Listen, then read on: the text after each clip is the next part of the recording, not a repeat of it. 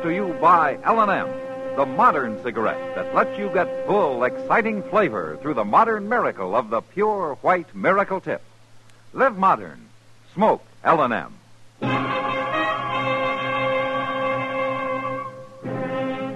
Around Dodge City and in the territory on West, there's just one way to handle the killers and the spoilers, and that's with a U.S. Marshal and the smell of gun smoke.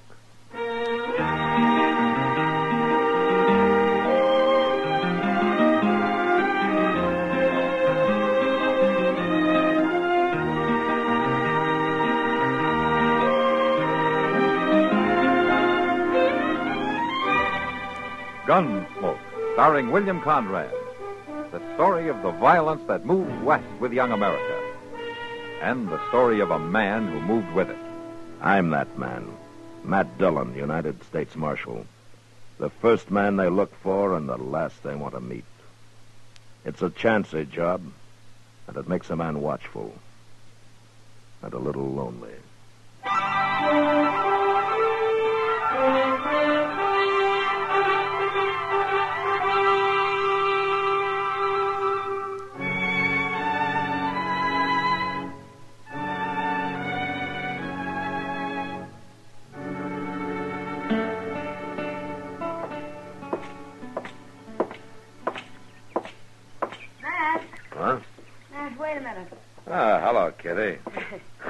Long Branch on fire or something? Oh, of course not. What do you mean? I can't figure anything else that'd get you up this early in the morning.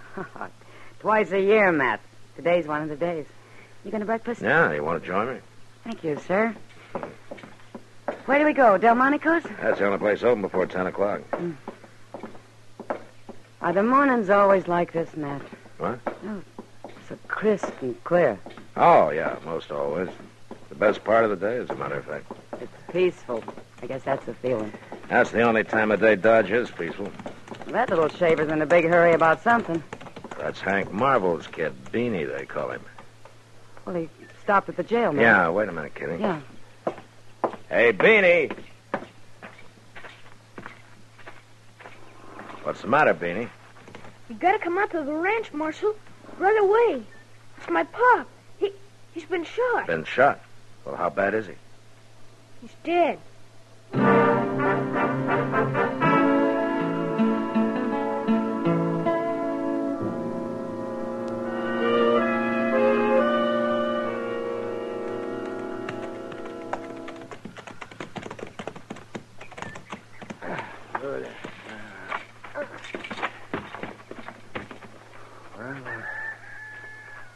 Where is he, Beanie?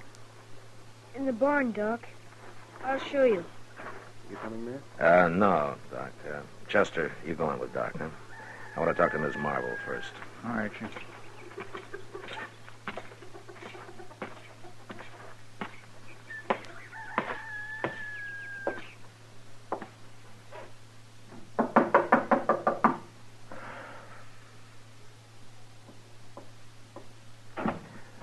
Miss Marvel? Come in, Marshal. Thank you, ma'am. I, uh, I'm sure sorry to hear about this. Just a few hours ago, Hank was sitting there eating his breakfast. Now he's dead. Uh, where did it happen, Miss Marvel? Down by the creek. He was laying there on the ground, shot to death. And Beanie and me got him into the buckboard and brung him back. Do you have any idea how he was shot? No, Marshal, no idea at all. Hank didn't have no enemies. He got along with everybody. Uh-huh. When did it happen? Right after he left home? Half hour, maybe. Him and Beanie left together. I was going to make soap today, and I, I just got the kettle set up out there in the yard when Beanie come riding back half out of his wits. Or was Beanie with him at the time? No. Hank left him at the pumpkin patch and went on alone. We raised some pumpkins along the slope below the edge of the bluff. That's Hank's favorite kind of pie pumpkin. He, he always says. Well, he, he he liked it better than any other kind. Yes. And did uh, Beanie hear the shot? Yes, and and he rode along the bluff to see if maybe Hank had shot a deer. And then he seen his father laying down there by the creek. Did he see anything else? Anybody around? No, it's it's awful brushy down there in the bottoms. Uh-huh. You're, uh, kind of short on neighbors around here, aren't you? Well, there ain't any at all, Marshal. There's just the Badlands on to the west, and the Circle D spread comes up against us on the other side. Yeah. Circle D's got a line cabin around here, haven't they? Oh, it's uh, about a mile and a half north. They got the same rider staying there, Jack Teague. Yes. You, uh, folks see much of him? Well, he's stopped by a few times. Ms. Marvel, uh, there, there's been a little talk around Dodge about Teague and. Uh, And about me, too, I know. And it's a lie, Marshal. well, I didn't mean anything, ma'am. It's just that they say that he, well, he's a chaser. Hank heard the same stories and the same lies. That's why he ordered Jack Teague off the place. No. Well, when was that? Last night.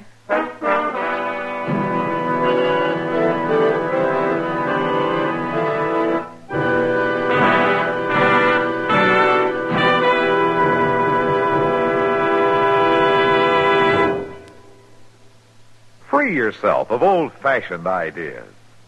Why don't you live modern? Live modern. Live, live, live modern. Free up. Freshen up your taste. Smoke an L&M. Live modern. Smoke modern. Smoke L&M. Enjoy full, exciting flavor through L&M's pure white miracle tip. L&M draws easier. Tastes richer. Smokes cleaner. That's why today more people are changing to L&M than to any other cigarette.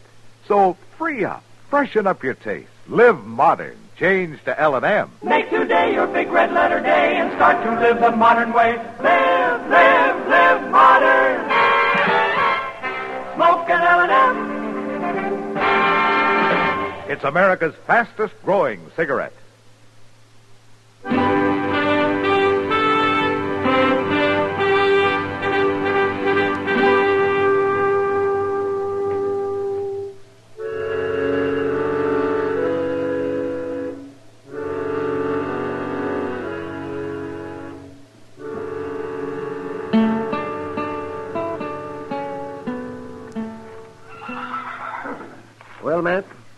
That's it.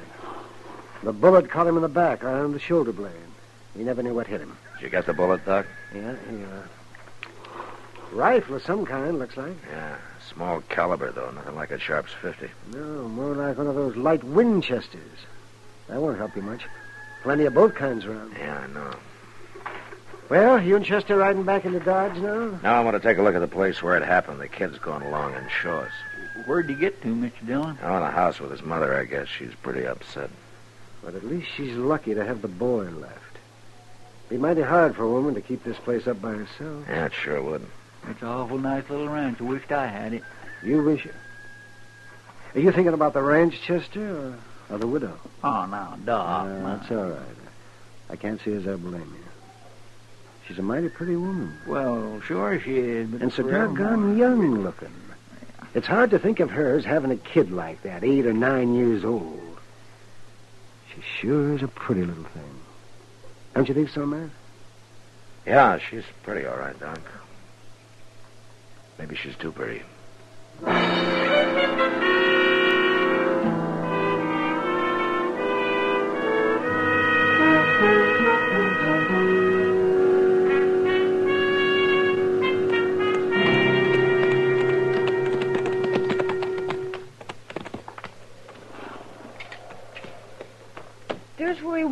Marshal. Laying right there in the trail. All right, Beanie. Let's take a look, Chester. Yeah, sure. I come riding along the bluff up there after I heard that old shot, and I got right there at the point where I see him laying here. Uh-huh. Uh, your mother was right. There's plenty of brush in here. Mm, there's cover enough for a tribe of Comanches. You think maybe it was Comanches? Oh, well, no, Beanie. I, I was just saying that. There sure ain't much to go on, Mr. Dillon. Uh, nothing. With all this brush for men to hide in without being seen. To hide in, yeah, but getting away after it'd be a different story. Oh. Anybody up there on the edge of that bluff ought to be able to see a man moving down here, whether he was afoot or horseback. Yeah, lots of open spaces he'd have to cross. Yeah. Uh, Beanie, you were up there on the edge of the bluff, huh? Well, yes, sir, I was. But I didn't see nobody. Nobody at all, Marshal. Uh-huh. Were you there last night when your pa ordered Jack Teague off the place? Yes, sir. It was quite a ruckus, I imagine. It sure was. Pa was mad and he got Mama crying. And Mr. Teague was awful mad, too, when he left. I imagine a boy your age might be a little scared of a fellow like Teague, huh? Yes, sir. Mom was scared of him, too, Marshal. She told Pa he was a bad man to cross. Yeah. I want you to tell me something, Beanie. From up there on the bluff, who did you see riding away? I see Mr. Teague.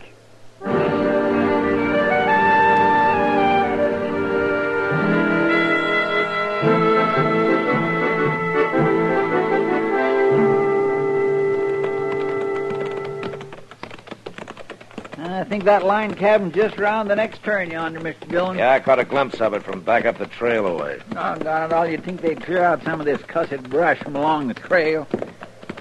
I, I bet there'd be some good hunting along these bottoms, though, when the deer starts drifting down from the north. Well, maybe we'll give it a try in the next couple of weeks or so. Yeah, I'll get my old Springfield out and clean it up some.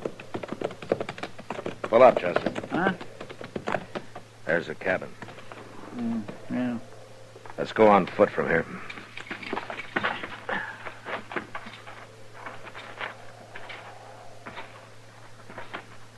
There's a horse tied there at the corner. Yeah. All saddled up. Bedroll tied on behind. Looks like maybe Teague's figuring on moving. Hit the ground. Reckon we come to the right place. Yeah, it looks that way.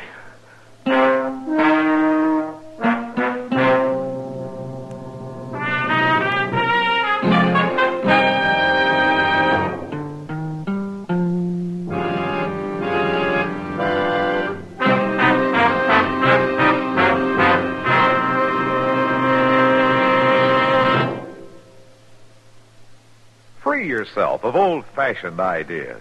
Why don't you live modern? Live modern.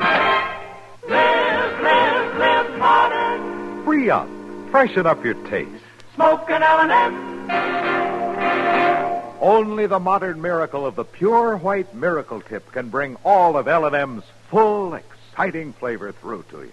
And that's the big reason why today more people are changing to L&M than to any other cigarette. Remember, L&M draws easier, tastes richer, smokes cleaner. So live modern.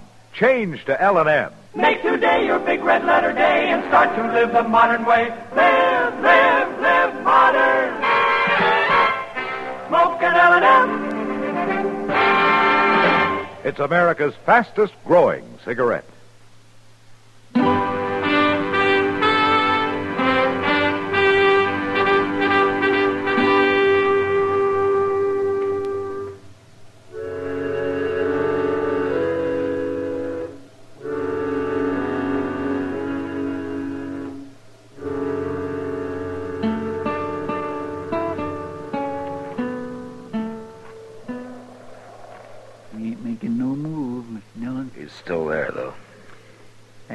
Ain't much protection. Just built out of shake sidings. Yeah. Maybe we ought to show him that, Chester. Might convince him.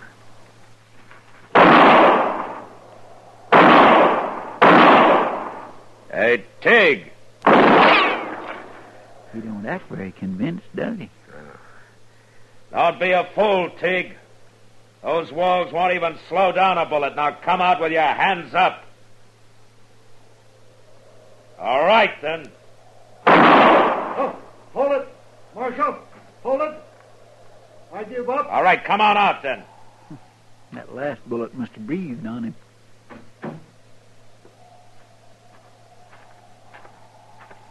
All right, hold it, Teague. That's far enough. I I knowed I was in for it when June rode over and told me Hank was shot. June? Yeah, Miss Marvel. That's why I was trying to get away. I knowed I wouldn't have a chance. Teague Hank's boy saw you. He saw me. He saw me, saw me what? Right away, right after his dad was shot. Well, that's a lie. I weren't even near them bottoms this morning. You got a rifle here? Sure. I got a Sharps 50, and it's been fired, too. I tried for a deer this morning. Hank Marvel wasn't killed with a sharps. You got a small bore here, a light Winchester, maybe? Of course not. That's a woman's gun, Marshal.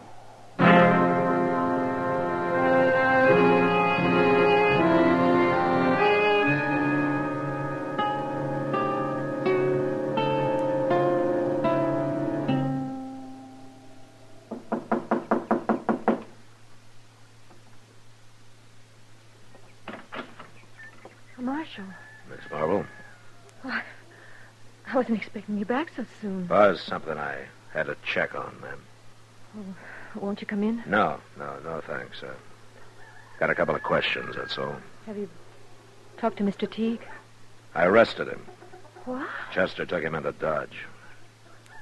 Is Beanie here, Miss Marvel? Well, no, he went out along the bluff where he stacked them pumpkins. Raccoons are always getting into them. They come out sometimes just before dark. Why do you want to see Beanie, Marshal? I just want to talk to him, that's all. Well, if it's something I can tell you, There's one thing you can probably tell me. What kind of a rifle did your husband own? well, the only one he ever used was the Sharps 50. Uh-huh. Is that the only one he owned? No, there, there's a light Winchester out in the barn, but. Marshal, if you've arrested Mr. Teague, why are you asking all these questions? Do you know how to use a rifle, Miss Marvel? Of course I do. Hank taught me. You figured anybody living out here on the prairie ought to know how to shoot. Uh-huh. All right, I won't take any more of your time now, Miss Marvel. Goodbye.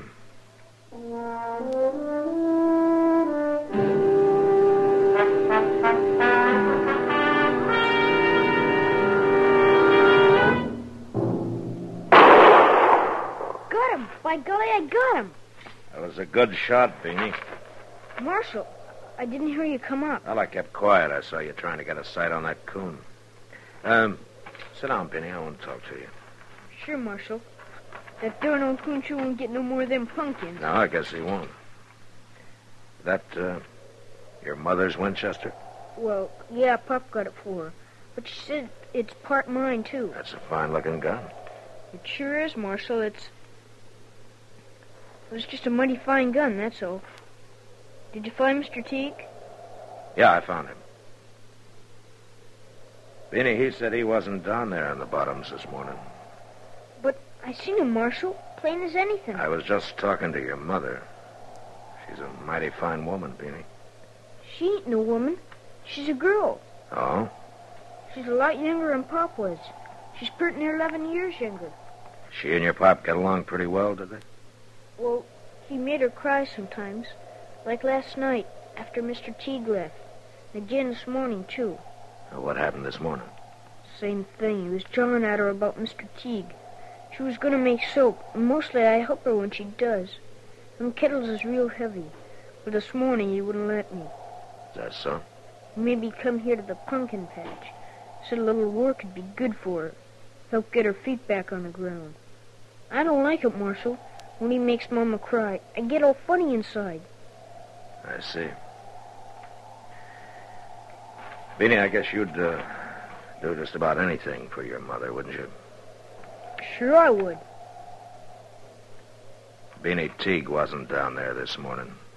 Well, sure he was. You didn't see him. You know that, and I know it. Now, why did you say you did? I hate him, Marshal.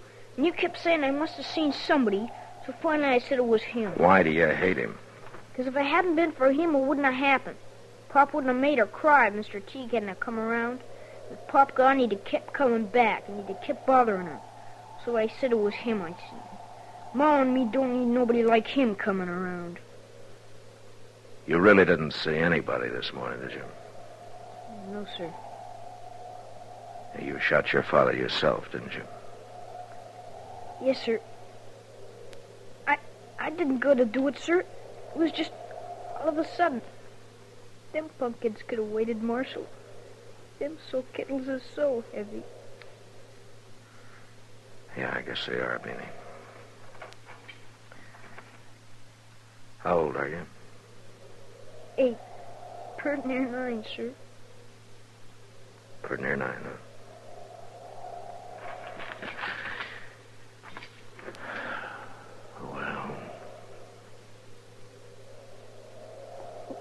What do you figure will happen, Marshal? Beanie, I wish I knew.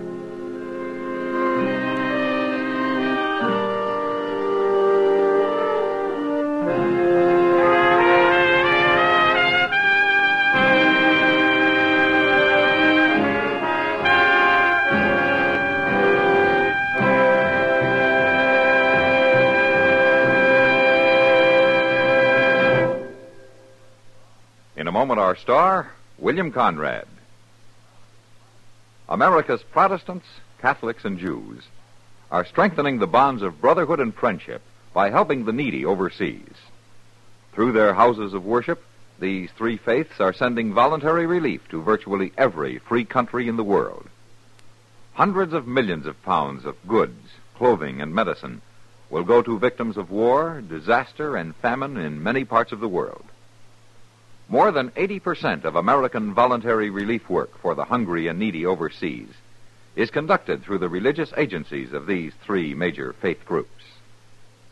When you share with needy persons overseas through your house of worship, you are promoting the spirit of democracy that unites all peoples for peace and goodwill. You are keeping faith with the finest tradition and heritage of America. CBS Radio urges you to keep faith with those in need overseas by giving as much as you can through your faith. And now, William Conrad. You know, on the high plains, a man lived hard and worked hard, and the years slipped by in a hurry. Well, next week, a man returning to Dodge finds that everything has changed because he stayed away too long. And his plan for changing things back calls for the murder of his brother. And that was the West. Gunsmoke, produced and directed by Norman Macdonnell, stars William Conrad as Matt Dillon, U.S. Marshal. The script was specially written for Gunsmoke by Les Crutchfield, with editorial supervision by John Meston. The music was composed and conducted by Rex Koury. Sound patterns by Tom Hanley and Bill James. Featured in the cast were Jeanne Bates, Butch Bernard, and John Dehner.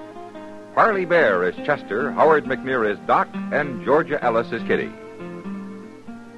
Join us again next week for another story on Gunsmoke.